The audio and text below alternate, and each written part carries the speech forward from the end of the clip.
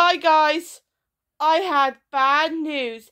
Tito Jackson, and he is a member of the Jackson Five, passed away at the age of 70 from a heart attack in New Mexico.